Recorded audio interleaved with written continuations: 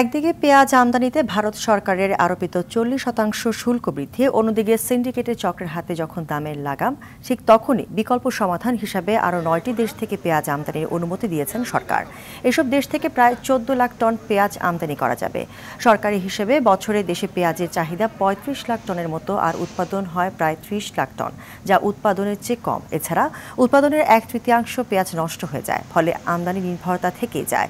কয়েকদিন আগেও যে পেঁয়াজ বিক্রি হতো প্রকারভেদে পঞ্চান্ন থেকে পঁয়ষট্টি টাকার মধ্যে তা বর্তমানে কেজি প্রতি সত্তর থেকে একশো টাকায় বিক্রি হচ্ছে। আর এতে অস্থিরতা দেখা দিয়েছে বাজারে। নতুন করে দাম না বাড়লেও আগের থেকে বাড়তি দামে বিক্রি হচ্ছে রসুন, আদাসহ মশলা জাতীয় পণ্য।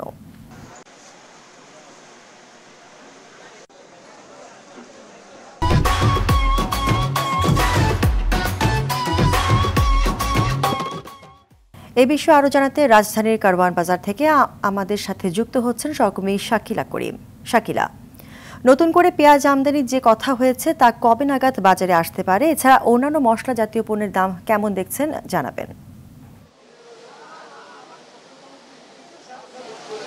ধন্যবাদ নাবিলা। আমি এই মুহূর্তে আছি কারণ বাজারে। আপনি যেমনটি বলছিলেন যে নয়টি দেশ থেকে পেঁয়াজ আমদানির অনুমতি দিয়েছে। এটি ঠিক গতকাল কৃষি মন্ত্রণালয় থেকে অনুমোদনটা দেয়া হয়েছে।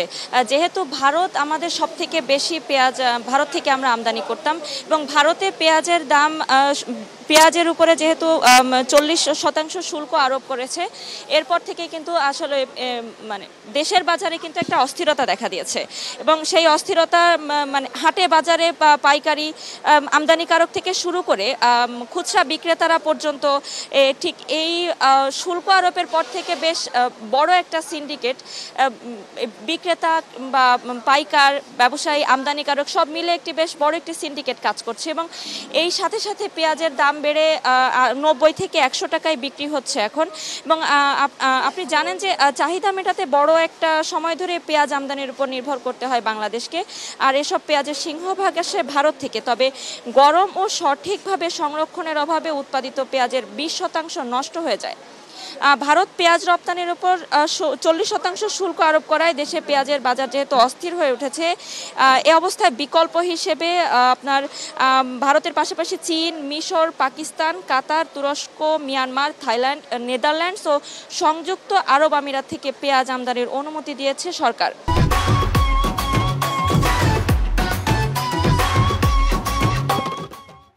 ভারত থেকে পেঁয়াজ আমদানির অনুমতির পর এখন পর্যন্ত দেশে তিন লাখ উনআশি হাজার টন পেঁয়াজ এসেছে এবং এ পর্যন্ত মোট অনুমোদন দেওয়া হয়েছে প্রায় চোদ্দ লাখ টন আমদানির। আর কৃষি বিভাগ কৃষি মন্ত্রণালয়ের তথ্য মতে আমাদের দেশে পেঁয়াজের চাহিদা রয়েছে পঁয়ত্রিশ থেকে ছত্রিশ লাখ টন। এর মধ্যে আমাদের দেশে উৎপাদিত হচ্ছে ত্রিশ লাখ টন এবং বাকি যে পেঁয়াজ আমরা আসলে চিন্তা করি যে আমদানি করলে আমাদের আসলে এই ঘাটতিটা পূরণ হয়ে যাবে। সেটা আসলে সম্ভব হয়ে ওঠে না কারণ আমাদের দেশে পেঁয়াজ সংরক্ষণ করার মতো তেমন কোনো হিমাগার নেই। খুব অল্প পরিমাণে থাকলেও সারা বছরের চাহিদা মেটাতে গিয়ে ঠিক এই শেষ সময়ে এসে একটা বড় ধরনের ধাক্কা খেতে হয়।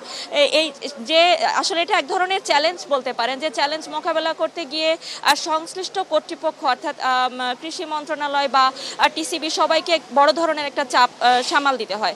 যদিও এই সব দাম মনিটরিংয়ের উপরে বেশ কার্যকর পদক্ষেপ নিচ্ছে সরকার।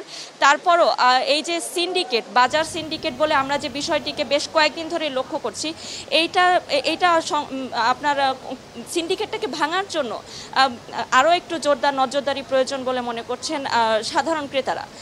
এই ছিল আমার কাছে কারণ বাজার থেকে সর্বশেষ। ধন্যবাদ আপনাকে। এতক্ষণ রাজধানীর কারওয়ান বাজার থেকে জানাচ্ছিলেন শাকিলা করিম।